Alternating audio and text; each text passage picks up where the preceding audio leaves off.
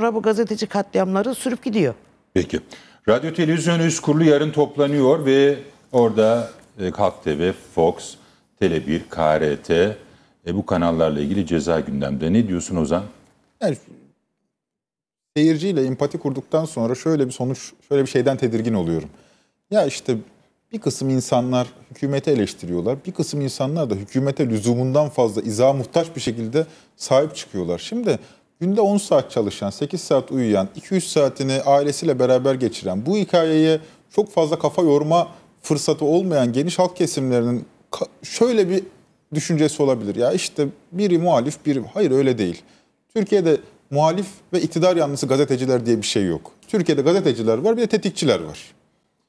Bunların bir kısmı muhalif, bir kısmı iktidar yanlısı. Muhakkak belki bugün iktidarı destekleyen gazeteciler de vardır. Muhalif gazeteciler de ama ayrımı öyle kurmak lazım. Birçok gazeteci zannettiğimiz insan aslında tetikçidir. Tetikçi olduğunu zaten e, bir kısmı ifşa oldu. Bu Sedat Peker şeylerinden sonra, ifşaatlarından sonra bir kısmı tetik şey oldu, ifşa oldu. Şimdi adları sanları duyulmuyor. Emin olalım, emin olalım. Bir iki sene içerisinde memleket bir normale dönerse hiçbirinin adını hatırlamayacağız. O halde şöyle düşünmekte fayda var bence.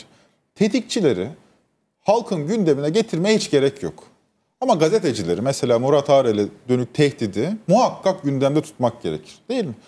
Bu tetikçilerle çok oyalanmamak lazım. Bir de ikincisi başka bir durum var bana kalırsa. Yani bu gidişat öyle görünüyor. Benim ortada gazetecilik denilen şey profesyonel bir meslek. Yani sosyal medya ile beraber belki bir miktar yaygınlaştı. İnsanlar haber aldıkları şeyi duyurmak istiyorlar. Yani bir haber verme iş. Ama haber vermek işi ayrı iş. Gazetecilik işi ayrı iş. Bir meslek bu. İlkeleri olan bir meslek. Değil mi? Yani sonuç itibariyle size gelen bir iddiayı 2-3 yerden teyit edeceksiniz. bunu bir başlığa taşıyacaksınız. En keyifli kısımlarından bir tanesi bunu bir estetik hale getireceksiniz. Çünkü sadece şey değil, böyle oldu bakın işte ben de bunun belgesini buldum değil. Bunu sunacaksınız.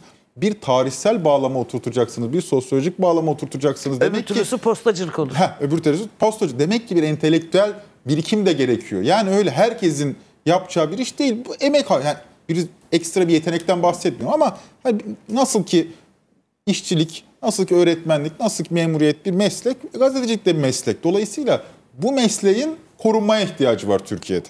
Tetikçilerden gazeteci çıkmaz. Tetikçiler ancak ne yapar işte bir biçimiyle Şimdi bunu şey bile yapar. bizim meslektaşlarımız ne yapıyor biliyor musun Ozan? Sırf muhaliflik, bize karşı muhaliflik, bize karşı bir e, itibar suikastı yapabilmek için efendim bunlar bunu daima gündeme gelmek üzere kurguladıkları şeyler. İşte bunlarla ilgili bu şekilde toplumu e, sürkalize etmeye çalışıyorlar. Bunlar doğru değil aslında gibi e, paylaşımlar yapıyorlar. Bunu işte hatırlarsanız en son kitap çıktıktan sonraki yapılan şeylerde gördük. Bu yayınladık burada da. Peki. Çok özür dilerim o zaman. Rica ederim. Ee, rütük, Rütük. Bu haliyle... Rütük yarın bizi masaya yatırıyor.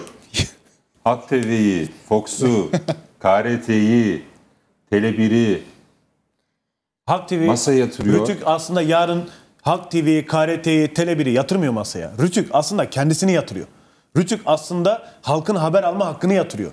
Diyor ki Rütük 100 yıl önce kapıları mim harfiyle fişlenen e, ve mimlenen e, zabitler gibi bugün bu gazetecileri özgür yayın yapmaya çalışan, halka aydınlatmaya çalışan gazetecileri mimlemek üzere kurulmuş bir kurum gibi davranıyor. İnsanların ifade özgürlüğü Hangi gazetecilik birikimi, tecrübesi ve deneyimle bu rütük üyelerine ben bakıyorum. Yani meslekte, Bizden daha tecrübelisiniz siz. Yani şöyle bir şey vardı eskiden. Biz e, karşı grubumuzda da olsa gazetecileri muhabirliğinden itibaren bilirdik işte. Muhabir olarak tanırdık. Sonra gelişir, şef olur, müdür olur falan filan. Ya bu dönemin gazetecilerinin hiçbirinin gazetecilik deneyimi, geçmişi, birikimi yok.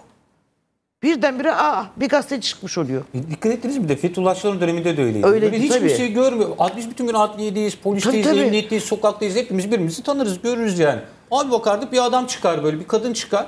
Ve Aynen. bilmem ne muhabiri herkes savcılardan bilgi alır. Biz de şaşırdık ya bunlar nasıl savcılar? Demek baylok varmış ama Tabii işte. Canım. O ne zaman almış. Şu dönemde stajyerliğini, stajını yaptı. Ha, ne dönem canım. işte adliye muhabirliğine başladı. Ne dönem belediye muhabiri oldu. Alelade bir gazetecinin savcıyla temas kurabilmesi kolay bir şey değil. Ya 5 yıl adliyede yapman lazım. Değil mi? O adliyeye geliyordu tek, odasına tek telefonla savcıların odasına giriyorlar. Çaylar, kahveler Mektupçu. içiliyor. Dosyalar alınıyor, veriliyor.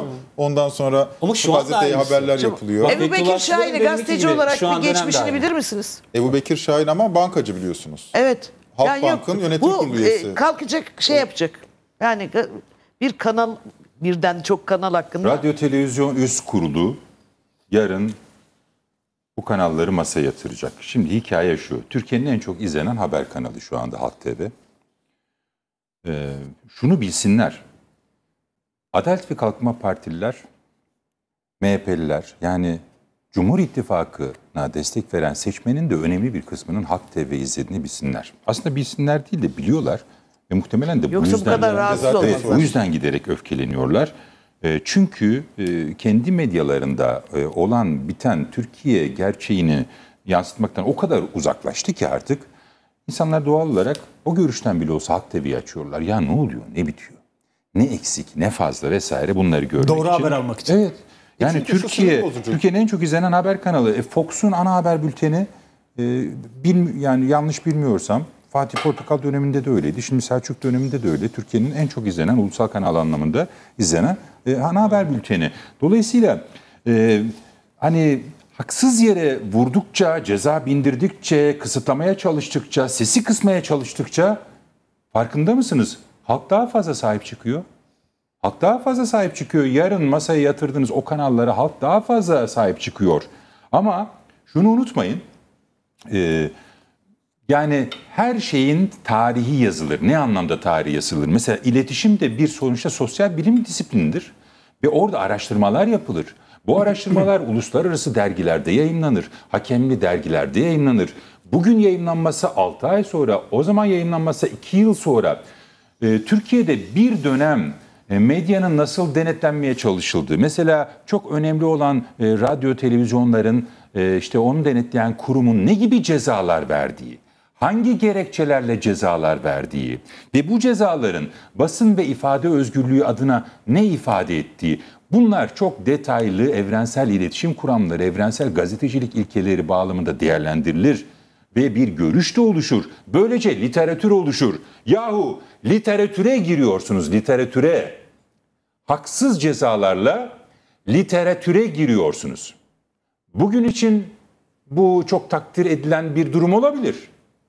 Bugün sizin bu haksız cezalarınız nedeniyle koltuklarınız giderek sağlamlaşıyor olabilir. Alkışlayanlar olabilir. Ama e, bu dönemin iletişim ortamında yaşanan her şey eninde sonunda gerçek bir şekilde konuşulacaktır ve bunlar kitaplara girecektir. Mesela birileri yazacaktır bu dönemin medyasında neler olduğunu, rütün ne gibi. Profesörler yazacak, profesörler. Çok değerli profesörler yazacak, doçentler yazacak, araştırma görevlileri yazacak. O yüzden yani daha orman yangını bitmemiş, daha hala duman tütüyor. İşte bugün Köyceğiz'de hala yangın var vesaire. Daha hala birkaç gün geçmiş üzerinden canlı yayında Halk TV'ye yönelik saldırının üzerinden ve siz Halk TV'nin de bulunduğu o kanalları yarın ceza vermek üzere masaya yatıracaksınız. İyi toplantılar. Evet geçelim şimdi Kuzu Zindaşti Yunan meselesine. Efendim Sedat Peker bir süre sessizliğini bozdu ve bir takım tweetler ortaya attı.